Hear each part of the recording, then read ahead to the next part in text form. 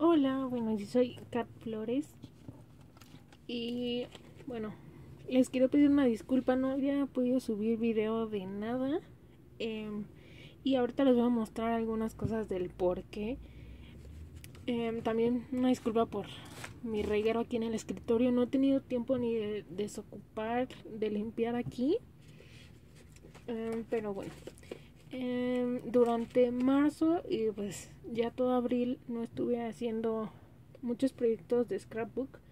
Y una, de las razones fue que en marzo sí en marzo em, entré a una actividad con Orlis de El Baúl de Andrea y era para hacer una muñequita.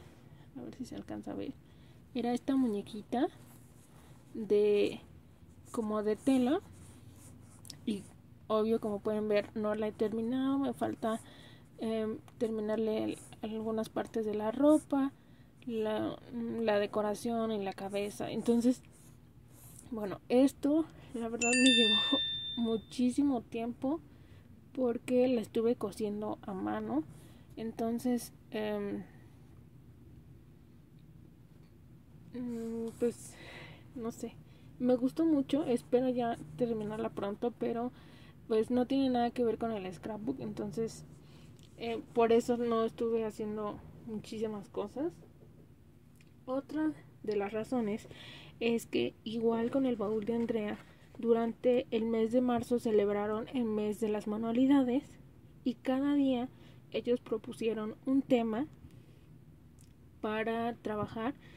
Aquí podía ser manualidad libre, digámoslo así. Entonces obviamente yo la mayoría lo hice en Scrapbook y les voy a mostrar solamente algunas cosas que yo alcancé a hacer. No alcancé a hacer las 31, pero se los voy a mostrar así muy muy rápido. Eh, la mayoría que hice fueron tarjetas, ¿no? Eh, porque era como lo más fácil para, para cumplir con todo. Yo traté de hacerlas muy sencillas. Y les comento, yo no hice las 31 porque pues ya no me dio tiempo, pero me gustó mucho esta actividad. La verdad se me hizo muy muy bonita. Y em, pues era libre, ¿no? Por ejemplo, este también me gustó, era un separador.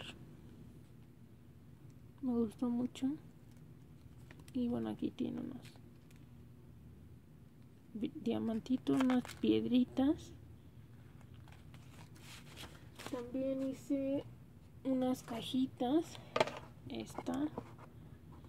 Les comento cada día ellos proponían un, un tema y bueno teníamos que hacer una manualidad con el, el tema que ellos proponían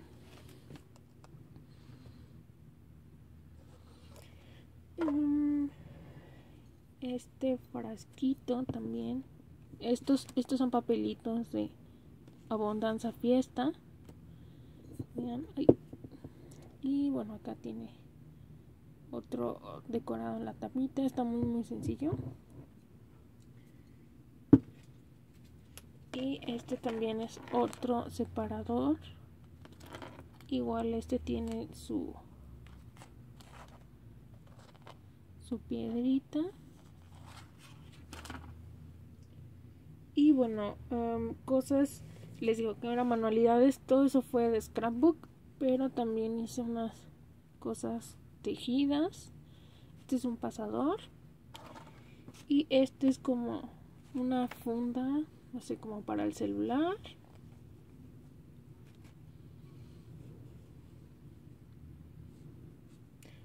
Lo último que hice fue esta página que es como collage. Em, yo elegí el tema París. Y bueno, este la hice en un cuaderno para Art Journal.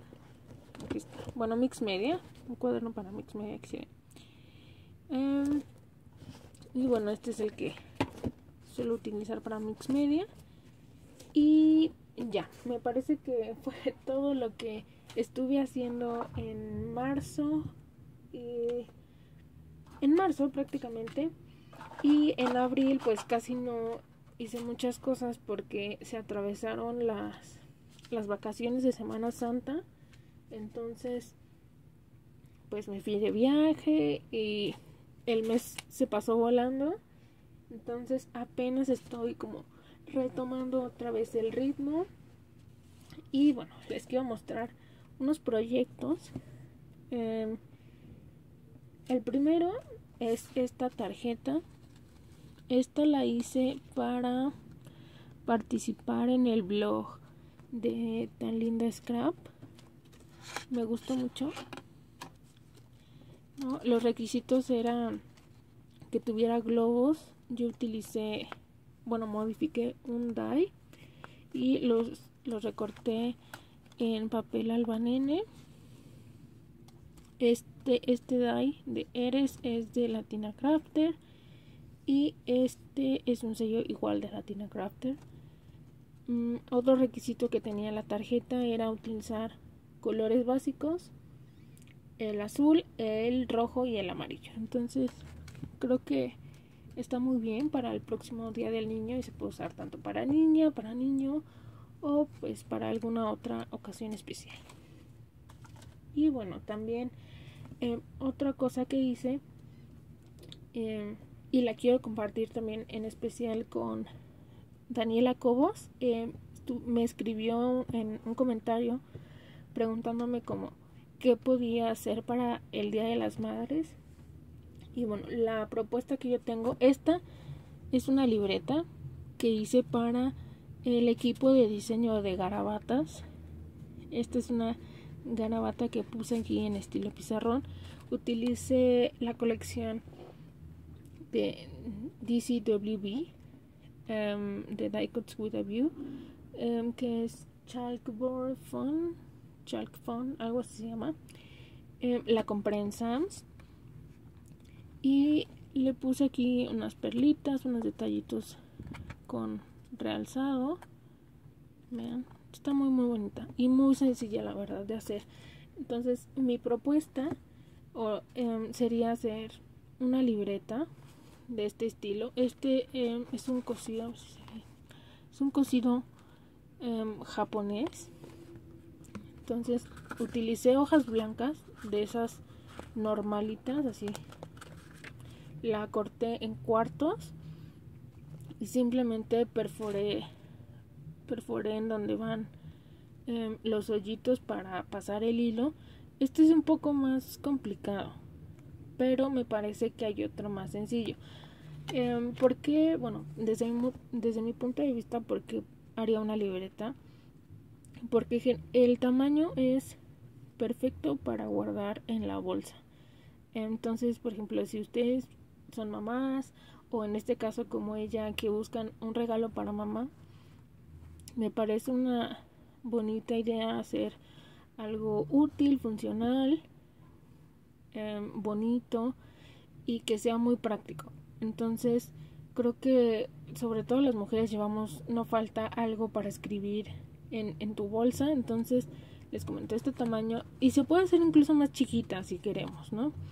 Este tutorial del, del cosido japonés no lo, no lo tengo yo, lo saqué de un video en YouTube, pero em, les voy a dejar, les voy a tratar de dejar el link para que si les, si les interesa, pues lo pasen a ver y pues si no, pues simplemente para ustedes, ¿no? Hacer una, una libreta así bonita.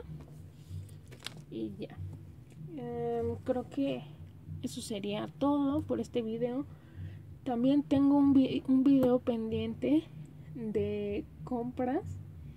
Si extrañamente no estuve haciendo mucho scrap, pero el cartero me siguió haciendo feliz trayéndome paquetes y bueno, algunas cositas que compré. Entonces, en otro video se las muestro.